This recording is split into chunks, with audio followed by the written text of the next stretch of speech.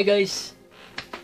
Uh, now, this is my favorite machine, the HPC Silca Code-A-Key uh, 1200. Uh, this is a very old one and uh, I had just calibrated this uh, a while ago and uh, it took me half a day by doing a trial and error because we don't, I don't know if there is a calibration card for this but I just used the card on recalibrating it again after it was uh, misaligned due to some uh, usage uh, which uh, force usage I mean or maybe uh, beyond the delicate uh, care of this machine. So I would like to give you a tip to in order to take care of this machine if you have one and also to give you a very very long service life. This machine is already in our position uh, maybe more than 25 years. So so then I have learned a lot on uh, trying to recalibrate it and that's one thing I will try to impart to you. Okay folks?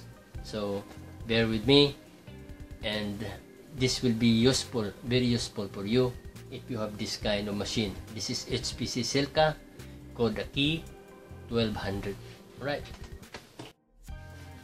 okay guys the first thing I'm gonna do is uh, to give you a tour of the inside of this HPC Silca 1200 okay uh, first thing uh, I have to do is uh, take off the power cord.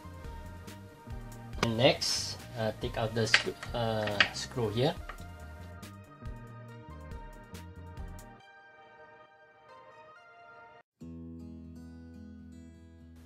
Uh, take out the card. And we will tilt this machine slowly.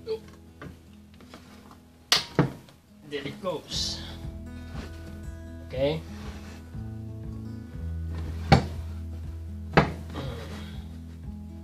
Okay. Now that is how it is. The parts are there inside and I give you a tour about it explaining what is the function of each gear and how to lubricate it to give you a smooth uh, run. Okay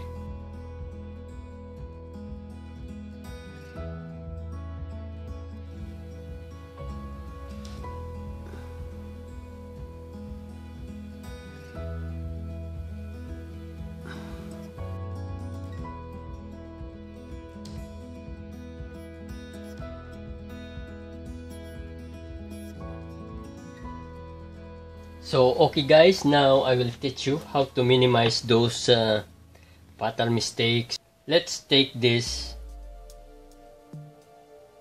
lever out, right? These two levers should be out. The reason is, with the lever on, you can run it hard or can run it fast and that is one cause of the gear inside to jump overboard. The same here. So without this uh, lever here after you finish cutting a key or after you finish a job always remember to put that uh, space needle in the center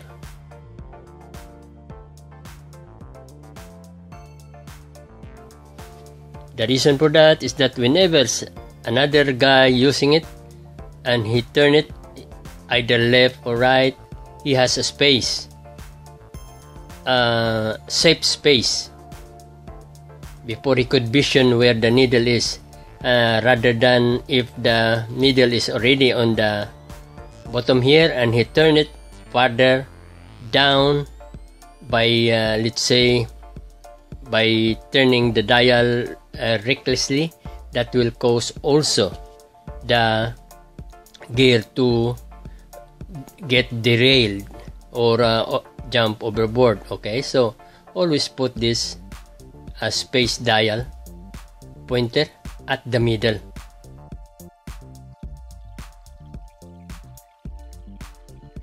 Every time you finish your job. And about this uh, and about this uh, feeder it doesn't matter because uh, that's always lay the lay on the very most. Doesn't need to be in the middle. So this uh, this uh, feeder uh, needle here doesn't need to be. What we are concerned of is only this space needle. Okay? Just put it in the middle. That's it so you are safe. The next time or anybody using it uh, when he turn it he turn it backward and look like he is resetting S. So I hope that will helps a lot on taking care of your uh, Code-A-Key cutting machine. Okay? Thanks for watching and good day